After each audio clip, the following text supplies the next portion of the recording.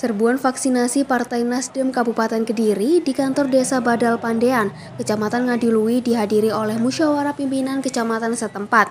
Tiga pilar keamanan dari kecamatan, Polsek dan Koramil Ngadilui ingin memastikan kegiatan vaksinasi massal berjalan lancar. Harminto Camat Ngadilui mengapresiasi kepedulian Partai Nasdem dalam membantu pemerintah mempercepat capaian vaksinasi. Menurutnya, dalam upaya memutus rantai penyebaran COVID-19, tak bisa dilakukan pemerintah sendiri, tetapi harus melibatkan semua elemen tanpa memandang warna bendera partai.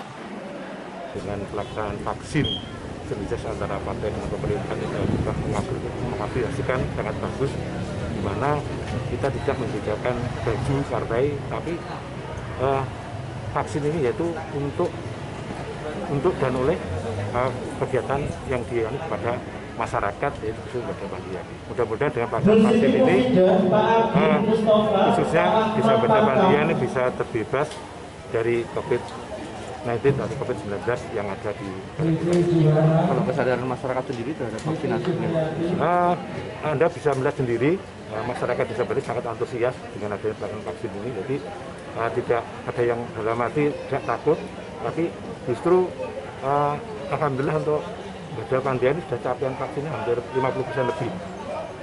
Jadi dengan adanya vaksin yang diadakan dari Partai Nasdem juga sangat membantu uh, apa mengurangi tadi ada ada adanya COVID-19 ini.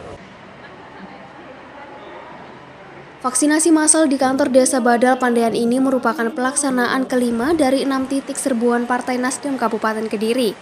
Selain kehadiran Muspika, dalam vaksinasi kali ini juga hadir Satgas Vaksinasi Nasdem Peduli DPW Jawa Timur.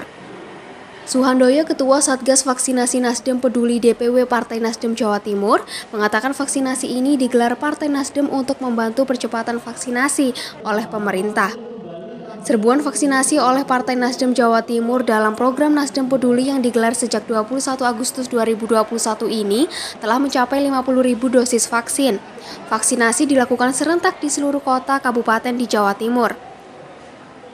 Ya, Alhamdulillah untuk Kediri saya memberikan apresiasi yang luar biasa. Hari ini adalah eh, tanggal 9 kita masih terus akan kita lakukan vaksin dan untuk vaksin yang kedua, saya berharap eh, DPD Partai Nasdem um, Kabupaten Kediri untuk mempersiapkan untuk vaksin yang kedua.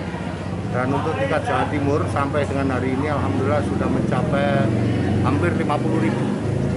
Hampir 50 ribu vaksin. Dan kita sedang merancang dua kabupaten yang sekarang ini masih level 4. Ini memang penuh risiko.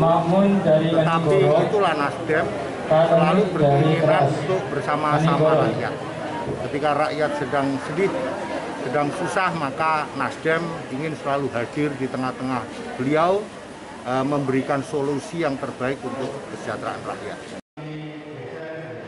Sementara itu vaksinasi di Desa Badal Pandian ini, Partai Nasdem menyediakan 320 dosis vaksin Sinovac tahap pertama. DPD Partai Nasdem Kabupaten Kediri menargetkan 2000 dosis untuk warga Kabupaten Kediri yang akan berakhir pada 14 September 2021 mendatang. Dari Kediri, Yanuar Dedi, KSTV.